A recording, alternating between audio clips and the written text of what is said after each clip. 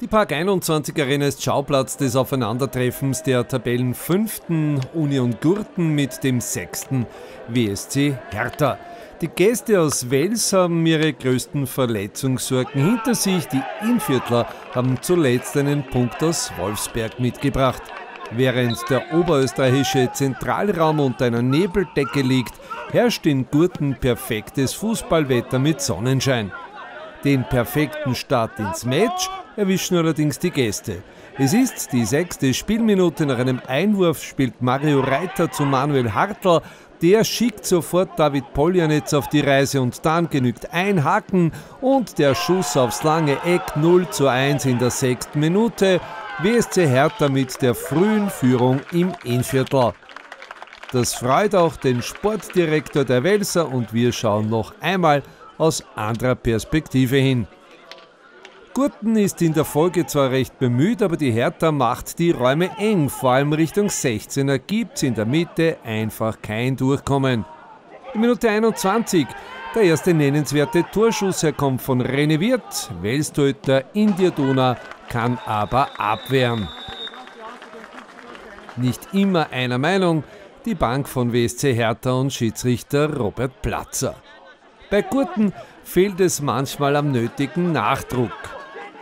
Dieser Schuss von Jakob Kreuzer einfach doch zu harmlos. Mehr ist nicht mehr los in Halbzeit 1. Die Gäste mit einer 1 zu 0 Pausenführung um 16.45 Uhr, wie die Kirchturmuhr beweist war es in der ersten Spielhälfte David Poljanet, der mit seinem Führungstreffer aufgefallen ist. So ist der 32-jährige Slowene auch im Mittelpunkt der ersten Szene im zweiten Durchgang, denn plötzlich bekommt der Mittelstürmer die rote Karte präsentiert. Was war geschehen? Hier die Auflösung. Die 23. Sebastian Zirnitzer drückt mit dem rechten Arm Poljanetz zur Seite. Dieser schiebt seinerseits Zirnitzer, der mit einem lauten Aufschrei zu Boden geht. Robert Platzer zeigt daraufhin dem Welser Spieler rot. Doch schauen wir noch einmal hin und achten auf den Unparteiischen. Er dreht zunächst beiden Spielern den Rücken zu. Erst als alles vorbei ist, dreht Platzer sich um. Diese rote Karte ist eigentlich nicht in Ordnung, denn was tatsächlich passiert ist, hat der Schiedsrichter nicht gesehen. Das kann man hier ganz klar erkennen. Dennoch WSC Hertha ab Minute 54 mit einem Mann weniger. Das öffnet den Inviertlern etwas mehr Platz und Gurten vermag nun auch Druck auszuüben. Ja, und jetzt geht's im Minutentakt. Die nächste Möglichkeit hat Jakob Kreuzer. Nicht schlecht geschossen, aber Duna taucht tief hinunter ja, und kann so den Ausgleich verhindern. Und dann hat noch einmal Wim Leitner die Schussmöglichkeit, aber der Ball wird zum Corner abgefälscht. Alles nicht so schlechte Möglichkeiten. Die Top-Chance, die gibt's aber auf der anderen Seite. Simon Schneider mit einem haarsträubenden Fehler.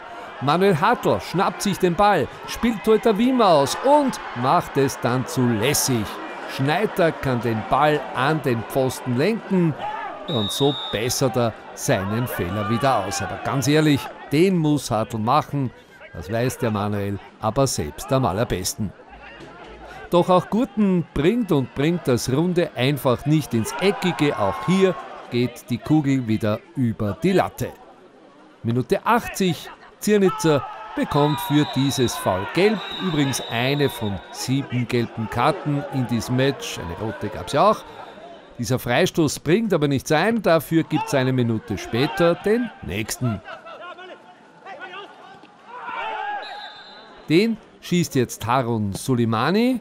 Auch nicht schlecht, aber doch knapp daneben. Gurten hat die Minute 89 noch eine Kopfballchance, aber es bleibt bei der knappen 0 zu 1 Niederlage gegen WSC Hertha.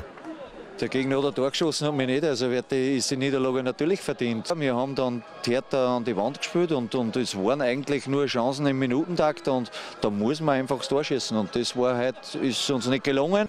Hm, Chancen würde ich nicht sagen. Sie haben natürlich Druck, dann haben, haben viele Bälle, lange Bälle in den 16er gebracht, aber es waren nicht wirklich Chancen dabei. Natürlich hat einer oder anderen gefangen und das, was für mich einfach das Wichtigste ist, dass wir heute einmal bewiesen haben, dass auch unsere Mannschaft eine Leidenschaft und ein Kämpferherz hat, weil ja immer so wie so hingestellt werden.